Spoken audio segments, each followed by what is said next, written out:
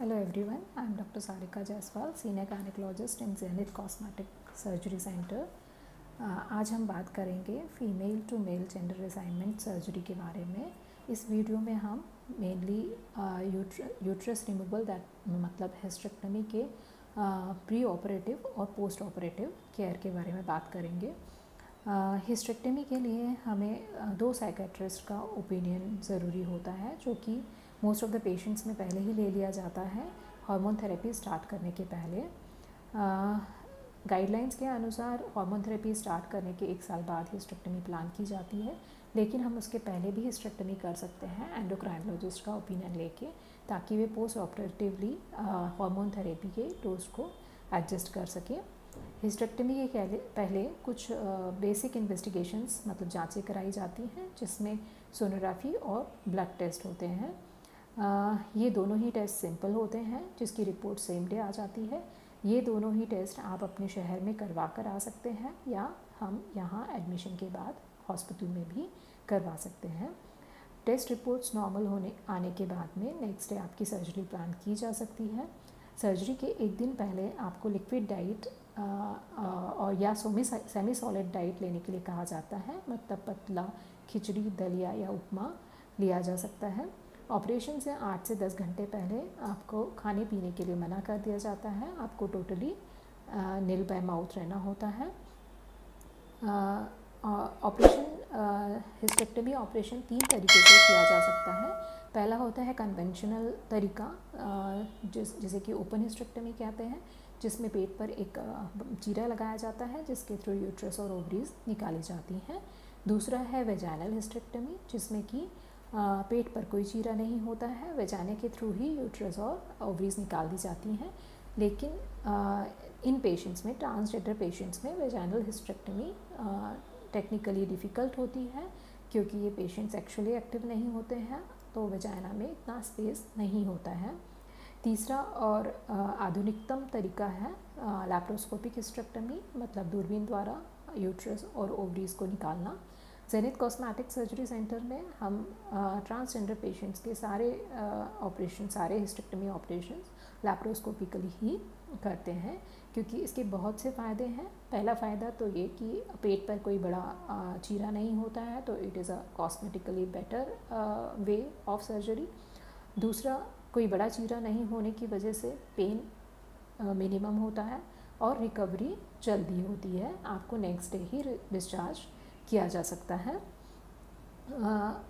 Operation के operation में आपको चार जगह पर एक एक टाके आते हैं, जो कि सात या आठ दिन बाद आप निकलवा सकते हैं, अपने शहर में भी निकलवा सकते हैं।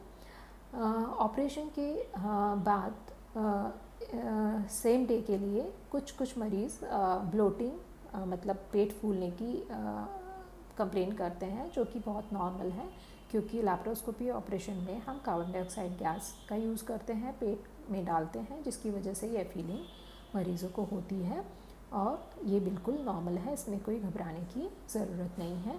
ऑपरेशन के छः घंटे बाद आपको लिक्विड डाइट शुरू कर दी जाती है, जैसे कि नारियल पानी जूस वगैरह आपको शुरू कर दिया जाता है। आठ से दस घंटे बाद आपको सेमी सॉलिड भी दिया जा सकता है, जिसमें कि आप दलिया, उपमा वगैरह ले सकते हैं। ऑपरेशन के 12 से 14 घंटे बाद कैथेटर मतलब पेशाब की नली निकाल दी जाती है जिसके बाद आप खुद से उठकर वॉशरूम में जा सकते हैं।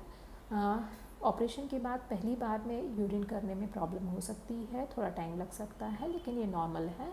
आ, एक बार यूरिन हो जाती है तो उसके बाद सब कुछ नॉर्मल पहले जैसा ही रहता है। एक बार यूरिन होने के बाद में और जब आप ठीक से घूम चलने फिरने लग जाते हैं और आप दलिया खिचड़ी शुरू कर देते हैं तो आपका डिस्चार्ज कर दिया जाता है।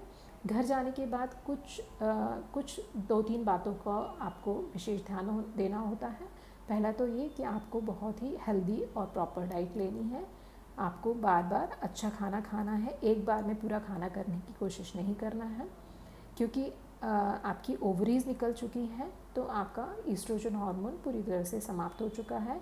इसलिए ये हीलिंग को इफ़ेक्ट करता है इसलिए आपका प्रॉपर डाइट लेना ज़रूरी है। दूसरा आपको पानी बहुत ज़्यादा पीना है तीन से चार लीटर पानी आपको 24 घंटे में पीना है।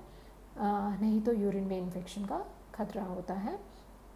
तीसरा आपको नीचे की हाइजीन का ध्यान रखना है बीटाडिन सोल्यूशन से आपको वॉश करना है। सात से आठ दिन बाद आप टाँके निकलवा के डॉक्टर से बात कर सकते हैं। डिस्चार्ज पे आपको दस दिन के लिए मेडिसिन दी जाती हैं, जिसमें कि एंटीबायोटिक और नॉर्मल पेन किलर होता है। नॉर्मल फीमेल पेशेंट्स के हिस्ट्रेक्टमी की तुलना में ट्रांसजेंडर पेशेंट्स में पोस्ट ऑपरेटिव स्पॉटिंग मतलब हल्की फुल्की ब्लीडिंग होने की चांसेस ज़्यादा रहते हैं। इसका कारण हार्मोन थेरेपी रहता है, लेकिन इसमें कोई फ़िक्र करने की ज़रूरत नहीं है। आप हमसे बात कर, करते हैं तो आपको सिंपल दवाइयाँ दी जाती हैं चार से पाँच दिन के लिए जिससे ये ब्लीडिंग बंद हो जाती है। ऑपरेशन के एक हफ़्ते बाद आप अपने किचन का काम कर सकते हैं आप अपने ऑफ़िस का काम कंप्यूटर पर बैठ के कर सकते हैं। हैवी वर्क वेट लिफ्टिंग या जिम ज्वाइन करना हम आपको एक महीने बाद अलाउ कर देते हैं। इस प्रकार से ये टोटल लैप्टोस्कोपिक हिस्ट्रेक्टमी मतलब कि दूरबीन से आपके यूट्रस और ओवरीज और फेलोपियन ट्यूब्स को निकालने का ऑपरेशन पूरी तरह सेफ़ और नॉन इन्वेजिव पेनलेस सर्जरी है। Thank you